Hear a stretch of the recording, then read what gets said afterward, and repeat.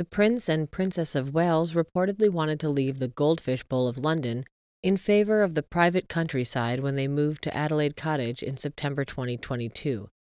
But it also has the added advantage of allowing Princess Catherine the space to recover from her abdominal surgery away from the watchful eyes of the world. Over the last few months, there have been reports the Prince and Princess of Wales and their three children, Prince George, Princess Charlotte, and Prince Louis, are about to say goodbye to their beloved home in Windsor. However, both William and Catherine have rejected a rumored move that would have constituted a major upgrade for the couple. Recent reports have alluded to a potential move from their current Adelaide Cottage residence to Royal Lodge, the expansive home of Prince Andrew and Sarah Ferguson, the Duchess of York. Meanwhile, the other royal officials have shared their view as the pairing is hoping to get Prince Andrew's house seen as overpriced.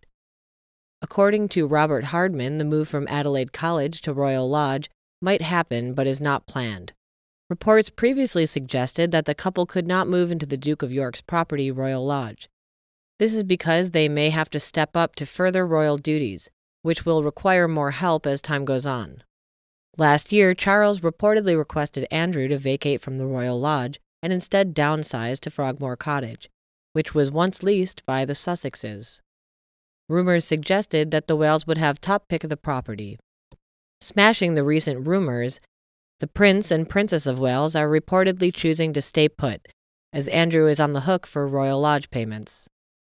Mr. Hardman said the move may still happen, but the Prince and Princess of Wales have two good reasons not to follow through. In his book, it is revealed that the pair are said to be extremely happy in their four bed cottage. The author quoted royal officials who unveiled two reasons why the couple might not want to move from their current home. They said, They are there as a family with total privacy and without lots of staff. The author added that the rumored move from Adelaide Cottage to the Royal Lodge might happen, but the resettlement is currently not planned. The couple are not the only one who enjoyed being at Windsor, as the late Queen Elizabeth is said to have mixed feelings but grew up to love Windsor as home.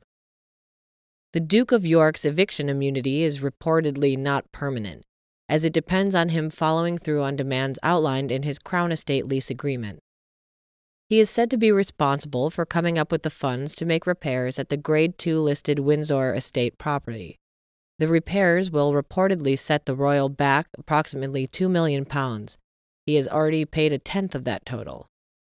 Prince Andrew has so far spent 200,000 pounds as an interim payment, but will need to pay the rest to remain there.